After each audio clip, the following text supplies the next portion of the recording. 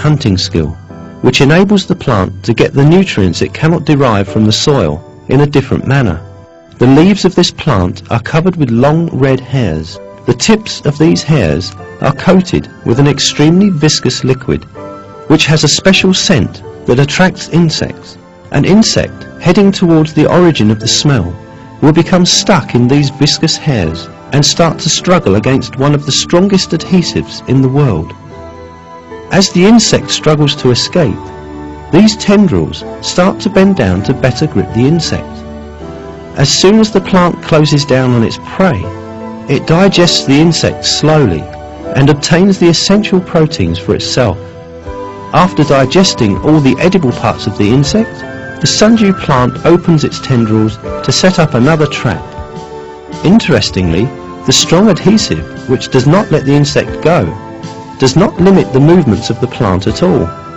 Certainly, the fact that a plant unable to move from its place is furnished with such a marvellous skill is explicit evidence for special creation.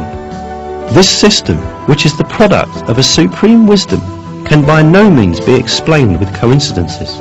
No one with reason would think that the plant invents such a system. Therefore, the existence and the superior wisdom of the Creator who gave these properties to the plant is obvious. All plants feed by the systems created specially for them by God. This fact is stated in the Quran as follows. There is no creature on the earth which is not dependent upon God for its provision. He knows where it lives and where it dies. They are all in a clear book.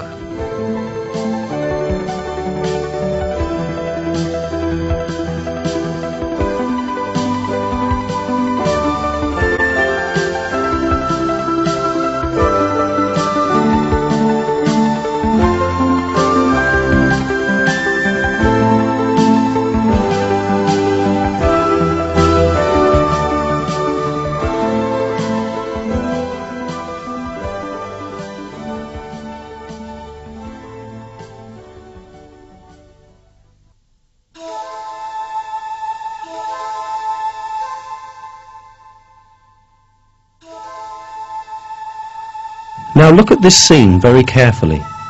Can you see anything other than a tree bark, a wild orchid, or a few dry leaves?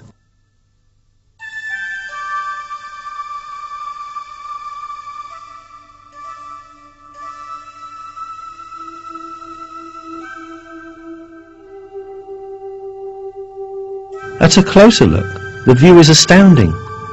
These are some of the living beings which display a perfect camouflage.